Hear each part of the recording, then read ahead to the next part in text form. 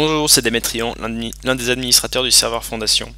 J'ai décidé de faire cette petite vidéo pour aider les nouveaux joueurs qui arrivent sur Fondation et éviter qu'ils se retrouvent paumés en fait avec euh, la multitude de choses à apprendre. C'est bien plus pratique d'avoir une vidéo qui explique tout en détail, comme ça ça évite euh, aux administrateurs, aux modérateurs et aux autres joueurs de devoir tout répéter, au moins c'est clair.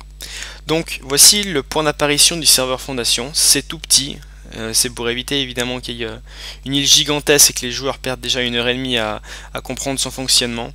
Euh, c'est très simple, il y a des quartiers et je vais vous montrer tout ça. C'est sur une île qui se trouve vraiment, euh, vraiment au milieu de la map avec quatre ponts qui relient les quatre points cardinaux. Et nous allons commencer par la zone d'apparition des joueurs, des nouveaux joueurs. Alors c'est ce bâtiment sans toit pourquoi est-ce qu'il n'y a pas de toit Pour éviter que les joueurs apparaissent dessus tout simplement. On n'a pas réussi à les faire apparaître à l'intérieur du bâtiment, je sais même pas si c'est possible. Au cas où vous apparaîtriez à l'extérieur du bâtiment, il y a une échelle ici que vous pouvez emprunter pour monter. Alors à partir du principe que vous apparaissez, au bon endroit, sur ce piédestal, il y a quelques panneaux à lire, c'est bien si vous les lisez, mais ils ne sont pas d'une importance euh, capitale. Ici il y a un coffre, pour chaque nouveau joueur, vous pouvez prendre une armure complète et une épée. Là, il y a encore des panneaux à lire. De l'autre côté, il n'y en a pas. Mais ils sont assez importants. Ils vous expliquent comment devenir euh, citoyen d'une ville. Là, ici, on vous dit d'utiliser euh, le Nether pour vous déplacer. Je vais vous montrer après. Et ici, les derniers panneaux. On vous dit de dormir dans un lit euh, à l'auberge pour éviter de, réapparaître ici. Et lorsque vous trouvez l'endroit pour votre maison, d'y dormir parce que la, carte est très grande et ce serait dommage que vous deviez euh, vous retaper 10 minutes de marche à peine arrivé à l'endroit où vous voulez vous installer. Euh, le serveur possède sa carte dynamique comme c'est écrit, je vous en parlerai après.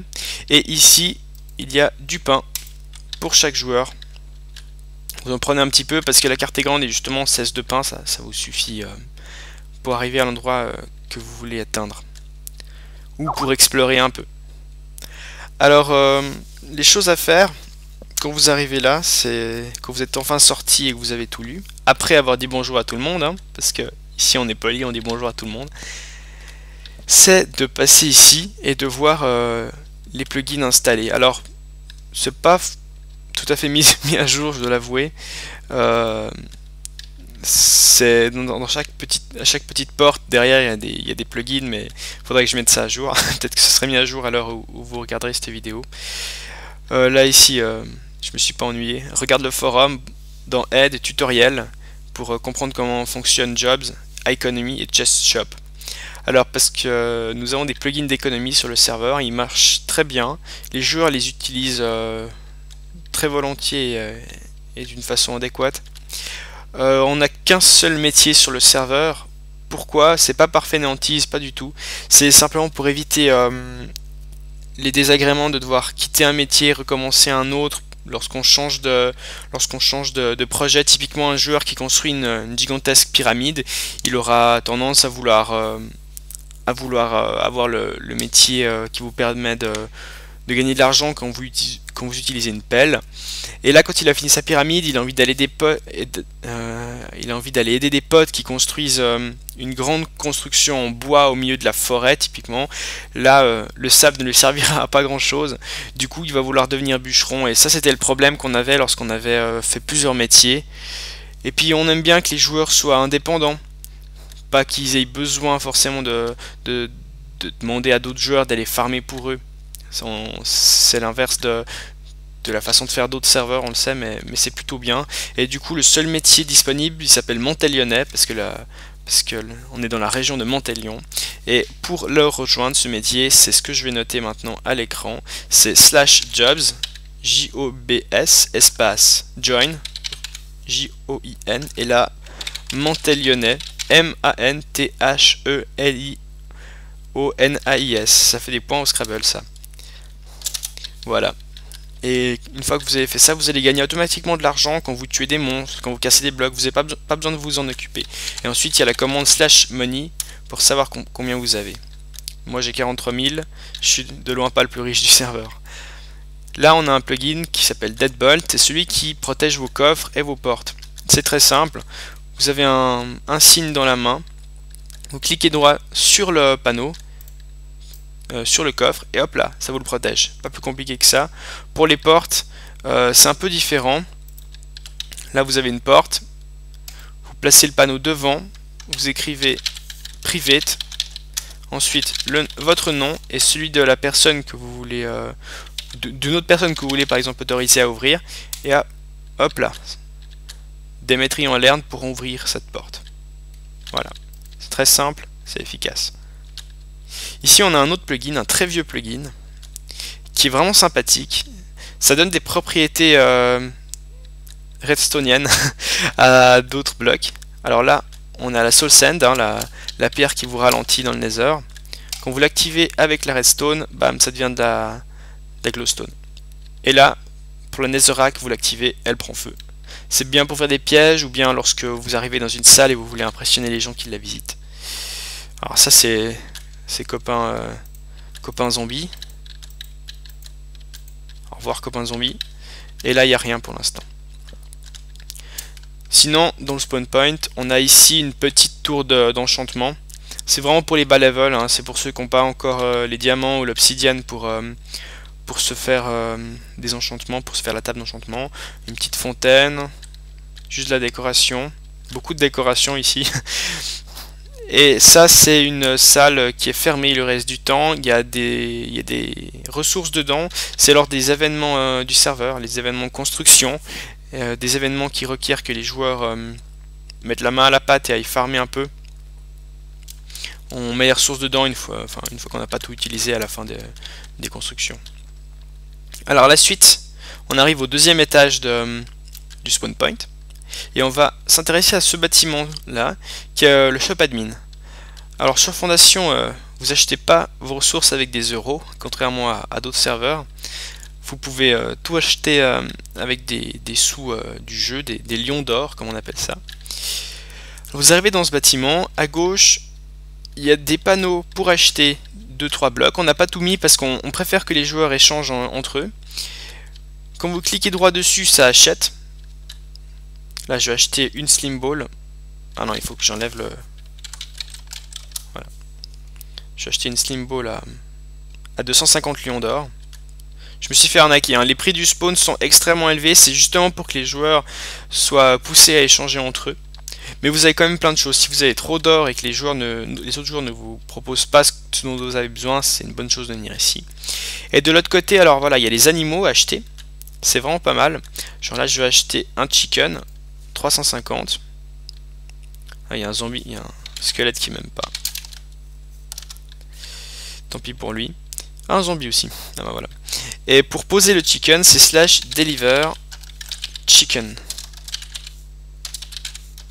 Et hop, il y a mon chicken qui est là. Et euh, en fait, vous achetez, vous allez dans votre champ et vous posez euh, les animaux. Parce qu'au bout d'un moment, c'est sûr qu'il y a moins de, mobs sur la map et certains joueurs se sentent obligés de tuer tous les monstres et tous les, animaux passifs qu'ils rencontrent. Donc au bout d'un moment on n'a plus tellement d'animaux dans la nature. Et sinon on a ici euh, des objets qui sont pas encore disponibles dans le jeu, enfin vous pouvez pas les farmer, comme euh, le CD numéro 11, les Record 11, les, des buissons morts, ce que vous trouvez dans le désert, des cobwebs, c'est les toiles d'araignée, et de la glace. Donc voilà, on a parlé du spawn euh, de l'admin shop. Ici, c'est l'auberge du noob, joyeux. Alors, euh, n'hésitez pas à, venir poser vos coffres, ou bien, bien, voilà, là il y a un joueur qui s'est posé apparemment, mais qui a déménagé. Vous, mettez une pancarte sur la, sur la, porte, vous pouvez la louer, comme ça le temps de, de, trouver un autre endroit pour aller vivre, ou bien, ou bien le temps de poser certaines affaires. Pas besoin de demander, c'est libre service. L'aubergiste n'est jamais là, de toute façon. Et maintenant, ça c'est une des rues les plus importantes, c'est la rue des ambassades. Certaines ambassades sont vides, comme cette ville qui a, été supprimée parce que les, joueurs ne voulaient plus. Mais d'autres sont encore très actives. Enfin, la plupart même. Là, il y a l'ambassade d'Orient qui est en train de se... qui va se refaire en fait, donc je vais pas la faire visiter, mais il y a celle d'Arboria ici, la ville dans les arbres. Et euh, il y a deux trois infos sur la ville, les coordonnées, comment la rejoindre, qui euh, contacter pour faire partie de la ville, parce qu'on on peut pas rejoindre une ville comme ça sans demander au maire. Euh, ici il y a l'ambassade d'Askirk, la ville des Nordiques, très belle ville, tout en bois et, dans la neige. Ici l'ambassade de Kernlock, la ville des montagnes. Ici l'ambassade de Azur la ville qui est la plus proche du spawn, là où j'ai euh, mon château, mais ce n'est pas ma ville.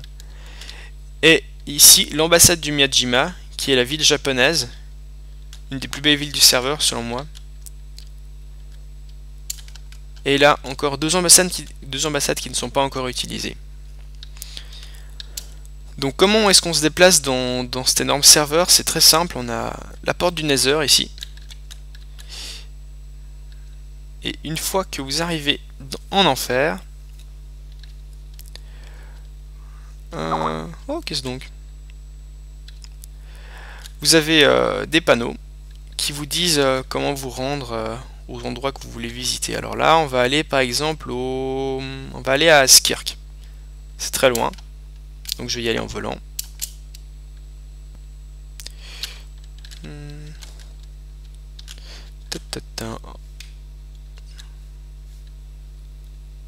On va aller au village pirate.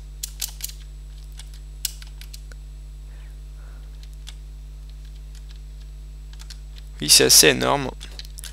Tombe gréco-romain, le village pirate est encore plus loin. si je me paume, j'aurais l'air un peu con. Euh, mais je crois que là c'est bon. Village pirate. voilà. J'avoue que j'utilise pas beaucoup le Nether, j'ai plutôt euh, tendance à utiliser les téléportations. Oh, mais c'est joli.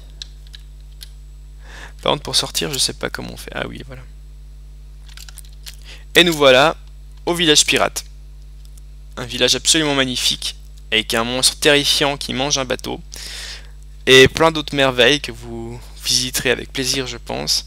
Donc là, on va retourner au spawn et je vais encore vous dire deux trois trucs. Euh, typiquement, euh, vous avez le droit de vous installer n'importe où sur le serveur ou de rejoindre une ville. Il y a plein de constructions euh, un peu partout sur le serveur, mais le niveau architectural est assez élevé parce qu'on fait attention à ce que les joueurs ne fassent pas n'importe quoi et puis justement on choisit bien nos membres. Du coup, on n'a pas de problème avec ça. vous pouvez aussi faire une construction d'abord, une petite maison quelque part et ensuite rejoindre une ville. Si c'est une construction énorme que vous voulez faire, on vous demande quand même de, demander sur le forum, proposer votre projet. On, refuse jamais, c'est juste une question de, question de forme en fait. À part si vous nous proposez une tour en obsidienne euh, avec du la lave qui tombe dessus, il y a peu de chances qu'on vous refuse. Euh, et si vous avez d'autres questions, les joueurs et les, modérateurs se feront un plaisir de, vous répondre. Alors au revoir et bon jeu, bon jeu sur Fondation.